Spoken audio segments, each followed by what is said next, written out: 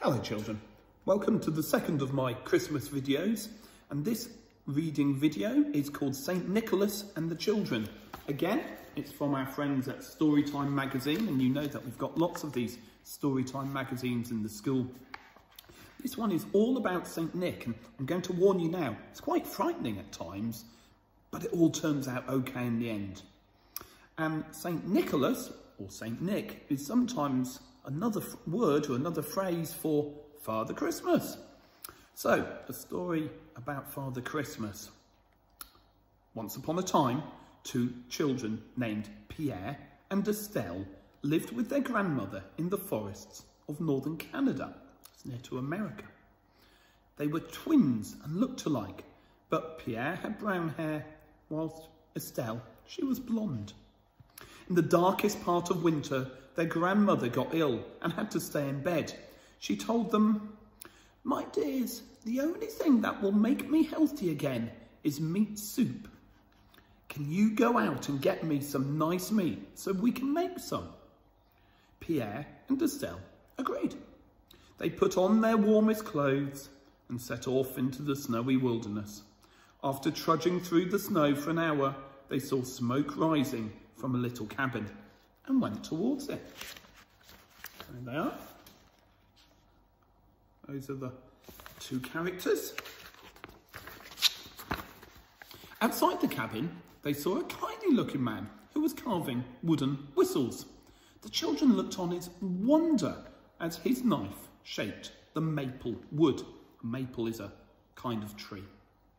The man said, Hello, children. What are you doing in these woods on such a frosty day? Estelle replied, We are looking for meat with which to find, to make broth or soup for our grandmother. She's terribly ill. The old man told them, Well, if I had some meat, I would give it to you.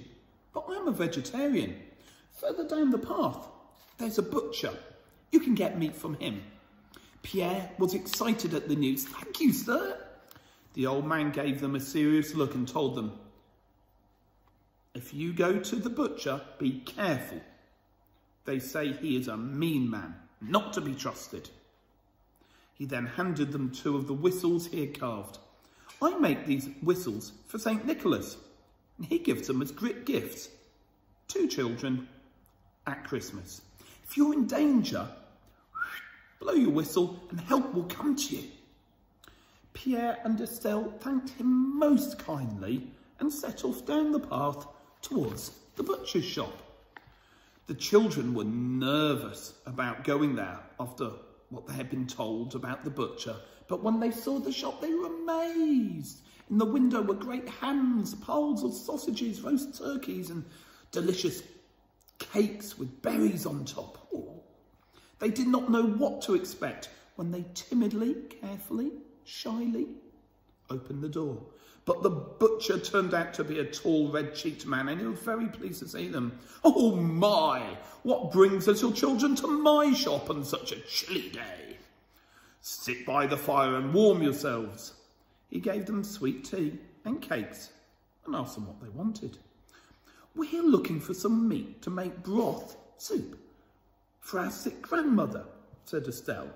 Oh, what good children you are to care for your granny, Boom the butcher. I keep my finest cuts in that barrel over there. You must take your pick. He took Estelle and Pierre over to the great barrel by the counter and then lifted him up so they could see inside. However, the children saw that the barrel, barrel was empty. And there they are, just looking in there. The butcher gave an evil laugh and dropped them in before slamming the lid shut. How lucky it was that you two visited my shop today. I get my meat from a wicked ogre who hunts in these woods. He will give me as many pounds of juicy meat if I can give him a child. Think how much he will give me for twins. Estelle and Pierre were terrified. But then Pierre he remembered the whistles the kindly man had given them earlier. By wriggling round in the barrel, he was able to get his whistle out of his pocket and blow on it. The only sound he could make was a little peep. The butcher laughed when he heard it. Whistle as hard as you can, my little darlings. Nobody will hear you. But just then, they heard the door of the shop swing open and there was a heavy stomping sound. Stomp, stomp, stomp. Estelle was frightened it was the ogre come to collect them. However, when she peeked out of a knothole, she saw it was a big man who was stamping his feet to get the snow off his snowshoes. He had a hook nose and a bushy white beard and wore a great scarlet coat trimmed with fur. Can you guess who it might be? What can I get you, sir? boomed the butcher. Ham, fruitcake, or a pie, perhaps? None of those, said the mysterious bearded man. I fancy a nice pickle from that barrel over there. The butcher went over to a big pickle barrel in the corner and fished one out, but the old man said, not that one. The biggest and juiciest pickles are right at the bottom. When the butcher leaned down into the barrel, the old man gave him a sudden shove. The butcher found himself stuck upside down in the barrel, quite unable to escape. Well, he kicked and struggled. The old man went over to the barrel, holding the children, and quickly pried the lid off with a knife. So there's St. Nick opening the barrel, and there's the naughty, naughty, naughty butcher upside down. The old man said, Dear children, I heard your whistle. I am St. Nicholas, and I have come to help you escape. He got them out of the barrel and hurried them into the snowy night. But Pierre grabbed some bacon on the way out. The sun was setting and snow was whipping through the woods.